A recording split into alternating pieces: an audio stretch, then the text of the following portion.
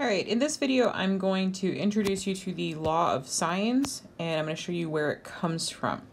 Now, everything up to this point that we've done has used right triangle trig. So you had a right triangle, you had a hypotenuse, the opposite side, the adjacent side, and some kind of a reference angle.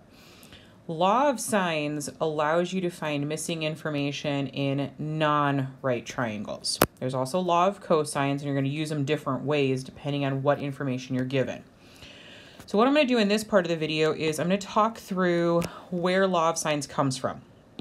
So you're going to start with any triangle. We're going to call this A, B, and C. And opposite to angle A is going to be side A. So this is little a. Opposite to angle B is going to be little b. And then opposite to angle C is side C, and you have a little c, little c there, okay? Um, that's just notation. It's oftentimes used with law of sines and law of cosines. So whatever your angle measure is, it's with a capital letter, and then the side is notated with a little letter. Uh, so you know that these two uh, are across from each other or opposite. Now, what I want you to do in this triangle is from angle C, we are going to drop in an altitude. Now, an altitude is going to hit the other side of the triangle at a perpendicular, uh, it's perpendicular to the other side, so those are two 90 degree angles. And for giggles, I'm going to call that altitude h, height would be a good way to describe that. So that's going to be the height of our triangle. Now, if I just look at this triangle on the left, and I want to figure out this value of h. All right, so I'm going to set up an equation that could do that for me. And what I do know is I know angle A over here, and then I know H is opposite and B is my hypotenuse to that triangle on the left side. So that would give me sine of A is equal to opposite over hypotenuse. So now if I solve for h, so h would equal b times the sine of a. All right, now I don't know HB or angle A. This was just to kind of figure out some information. Now I'm going to switch and I want to take a look at what happens with the triangle on the right side. And again, I'm still trying to figure out what that side H is. So in this case, I can use angle B is my reference, H is opposite, and A is the hypotenuse. So the sine of angle B is equal to H over A. And if I solve for H, H is equal to, give me one second there to get the pieces in the right places. So A sine B. Now, H is the same length whether I'm dealing with the triangle on the left or the triangle on the right. So H is the same thing. So these two H values are equivalent, which means this uh, little expression here, B times sine of A, is also equal to A sine of B. So if I go down here and I combine those two pieces together into a single equation, so B sine of A equals A sine B. Now this looks a little bit weird, but we can actually resolve this and turn it, it's an equation right now, but if we turn it into a ratio, um, we can actually set up sine of A over A equals sine of B over B. Now, how did I just get that? Basic idea here is you take your two fractions and divide by a and b. So in the first fraction, your b's will cancel out, so sine of a over a. In the second fraction, the a's will cancel, sine of b over b. Now, you could do something similar with a different triangle setup and eventually figure out that the other part of this is sine c over c is also equal to um, the other two fractions here. This is, if you look up law of sines, what you're probably going to see. You might, depending on where you're looking, also see a over sine of a is equal to b over sine b is equal to C over sine C. Either one of these is totally fine. I'm going to be 100% honest with you. I will almost always use the first set where the, tri uh, the trig ratios are on top divided by the side lengths. So this is where law of sines comes from. Now, what we're going to do is actually put it into practice. Okay, so I'm going to go ahead and scroll up to the top. What I've been working on is actually just the bottom of your worksheet today. All right. Now, for each one of these problems on this page, you are going to draw your own triangle. All of the triangles on here are going to be triangle ABC, like the picture I drew earlier, okay? And no, I do not need you to draw these to scale at all. If you're in Notability, Notability will snap a triangle eventually, all right? So you can obviously use that and just label the three, sorry about that, label the three angles wherever you want to. Um, so for me, I tend doesn't matter, but mine tend to look like ABC that way. So now I'm going to take the information from the problem and fill it into the picture. Okay, so I know the measure of angle B is 18 degrees. So there's 18 degrees. Now it says little a is equal to 8. So I'm going to find angle A, go opposite to that, and fill in that side as 8. So this is 8. Little b is 7. So I'm going to find angle B, go opposite to that. This is 7. And I want to know the measure of angle A. That's my unknown. So I have an unknown angle with its opposite side, a known angle with its opposite side. So I 100% can use law of sines on this. So the setup is going to be sine of A, so that's my angle A, over its opposite side. So 8 is equal to the sine of 18, that's angle B, over its opposite side, 7. And I want to solve for this part of the problem. So if that's what I'm trying to solve for, I'll highlight it in green. There we go. Um, if that's what I'm trying to solve for, I'm actually to multiply both sides by 8. So the sine of A is equal to 8 sine of 18 over 7. And then you can either put this in your calculator right now and then hold it in your calculator, or I'm actually going to do the calculator one step at the very end.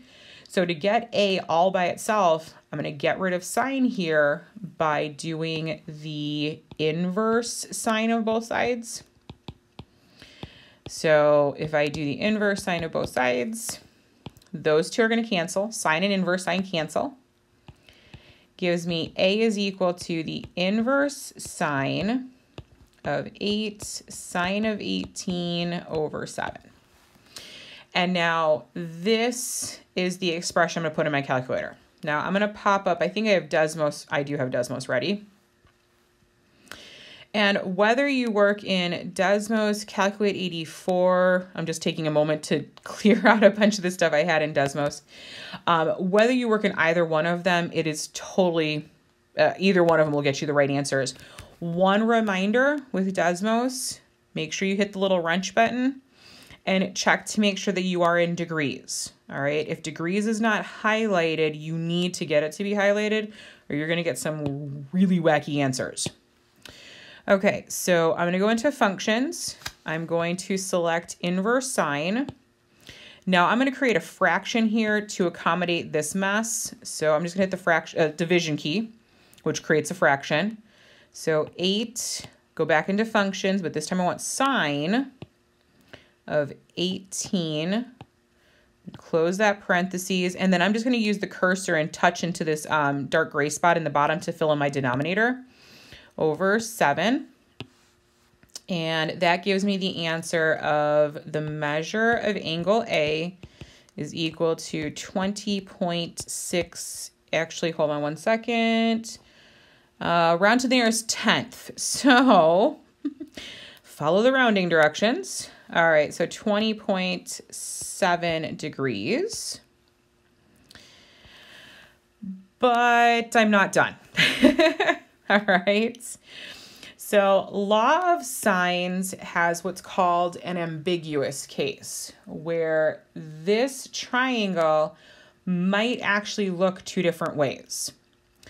And so it's weird, but the triangle that we've just found has a very um, obtuse angle up here at angle C, and this would be a really tiny 20 degree angle. The other option, and I'm gonna see if I can draw this decently. Okay, so here's AB. We know this is an 18 degree angle here, that's eight, and there's C. Now, what we found is the angle that comes over here, and then this one is 20 degrees. There is another possibility. Because angle C could be pretty much anything we want it to be, we could actually swing this side of the triangle in, and there would be another triangle right here that would still have this 8 this side would still be seven. This It's basically a weird, ambiguous case. We don't know which triangle we're dealing with. So what you need to do at the end of your problem, take the answer you got, subtract it from 180. In this case, what is that, 100 and something? 180 minus 20 points, whoops, 20.7 so you get 159.3 degrees. Now, this might be an angle that works. The way you're going to test this is add this answer to the given angle measure. Okay, so just add it in, so plus 18. If the answer you get, and I'm working over here in um, Desmos here. If this answer is less anything less than 180, you have the ambiguous case. All right. So in this case, both answers here are going to work. So measure of angle A is equal to 20.7 or measure angle A is equal to 159.3 degrees. So basically, you're trying to figure out if this angle could be the acute angle awesome, that's great. Or it's possible that you might have this obtuse angle, which in this case is 159.3 degrees.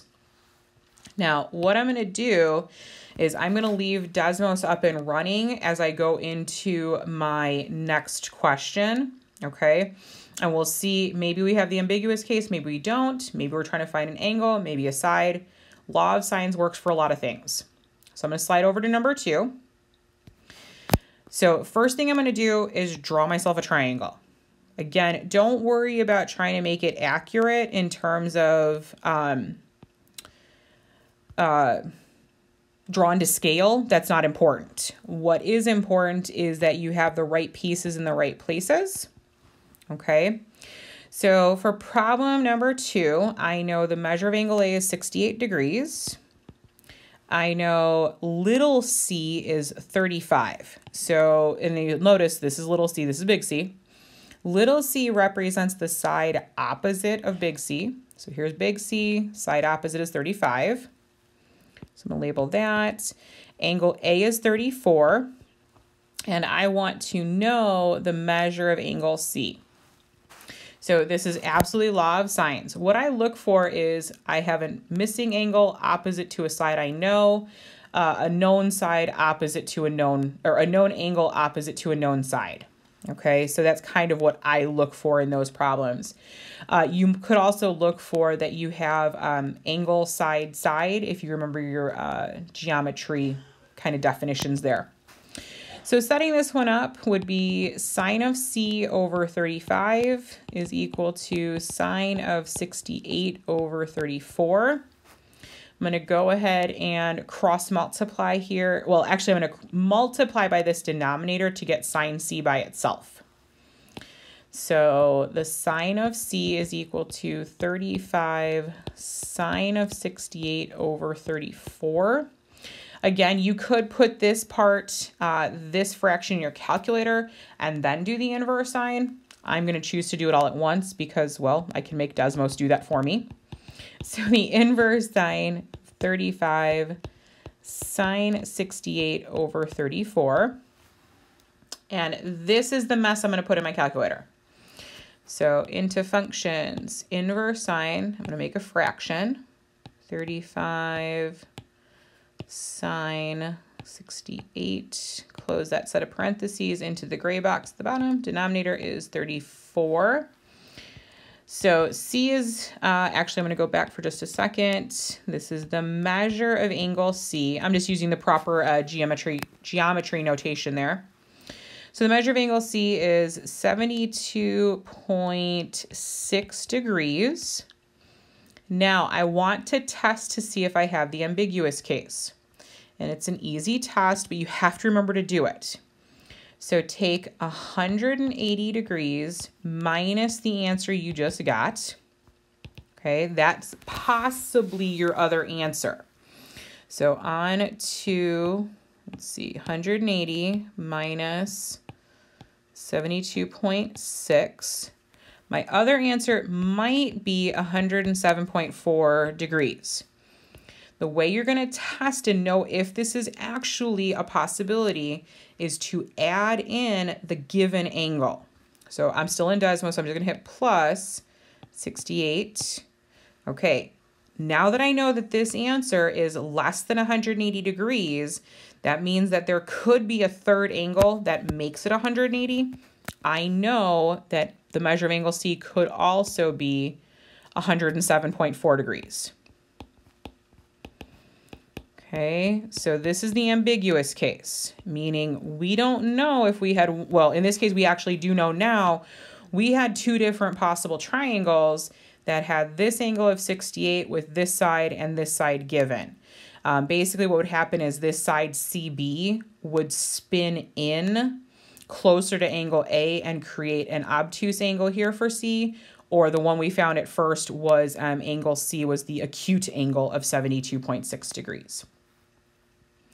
All right, I'm to go ahead and move on to number three. Okay, starting off the same way I've started off the last few problems, draw yourself a pretty picture. All right, so A, B, C. All right, fill in what you know. We know angle A is 89 degrees. We know little c is 28, little a is 29, and we're supposed to find the measure of angle C. Okay, so same setup that we've been doing. We're going to do the sine of C over 28 is equal to the sine of 89 over 29. Um, multiply by 28 here to get sine of c by itself. So sine of c equals 20. That's a horrible 20. Hold on a second. There we go. 28 sine of 89 over 29. So c is equal to the inverse sine of that whole fractional mess. Okay, so into my calculator it's going to go. So inverse sine Make a fraction 28, get back into sine, 89, and then 29 in my denominator. Okay, so I am given the measure of angle C is equal to 74.9 degrees.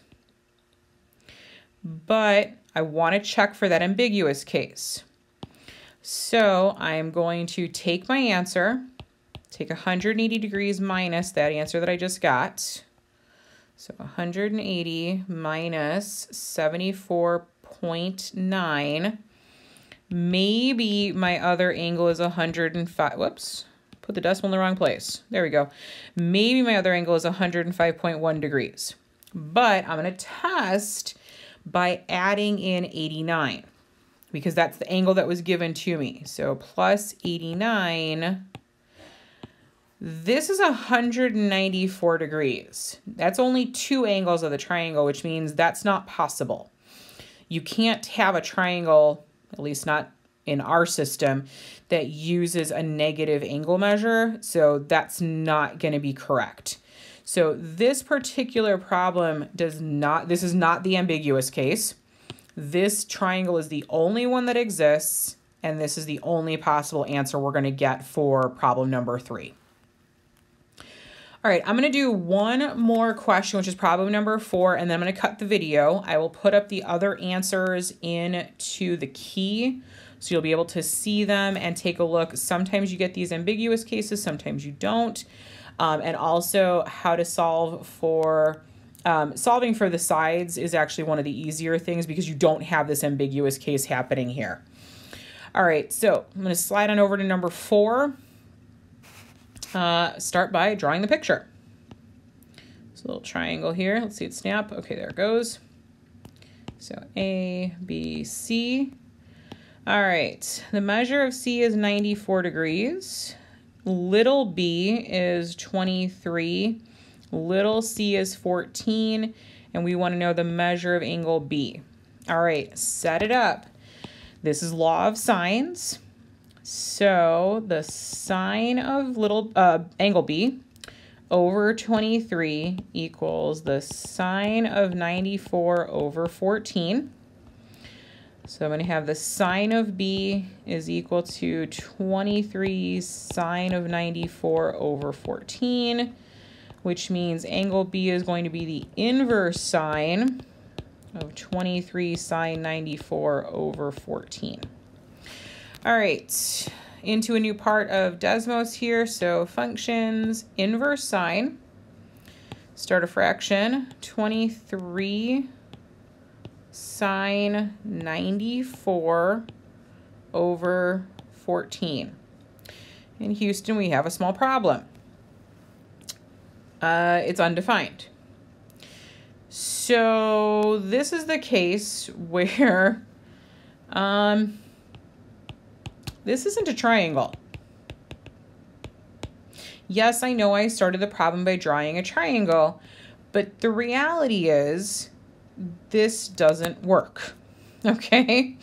What really is happening if I were to try to draw this, and I'm fabulous at it some days, so I know CB is here, and I know that this is a 94 degree angle. I know this is a 23, and I know that there is a 14 attached to here. The problem is, basically what happens with this case is no matter what we do with this 14, it can't reach side CB it just it doesn't create a triangle. And so what you're going to have is it will give you undefined for Desmos. Uh, calculate 84 if you're in it, I believe will tell you you have a domain error, which again, it's the same idea. Double check that you're not in radian mode. Um, but yeah, this is, you can set up the problem, but you're not going to get an actual answer for it because this actually isn't a triangle. So be aware that there are three cases for law of sines.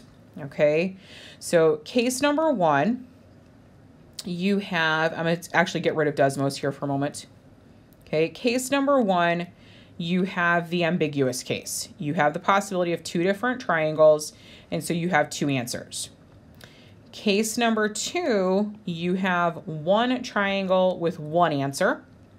And then case number three is the information you were given doesn't even make a triangle. Okay, but don't worry about trying to figure out if you have that triangle or not from the beginning. Just set it up, try and solve it like you would any other law of sines problem. If it works, great. If you get an error message, you probably don't have a triangle to start with. So I know that is a lot of information on law of sines. Like I said, the other parts of this problem, this worksheet, I will put up in a key so you'll see which ones fit which case. If you have any questions or any concerns about this, please let me know. Message me in Canvas, send me an email message, or let me know